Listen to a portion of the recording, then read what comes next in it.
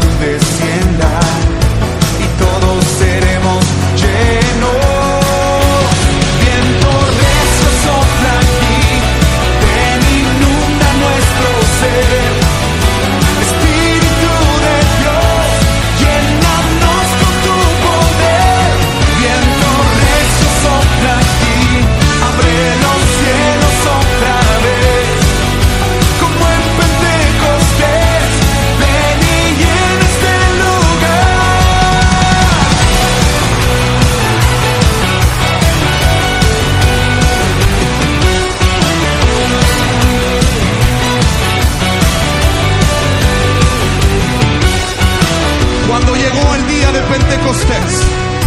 todos estaban unidos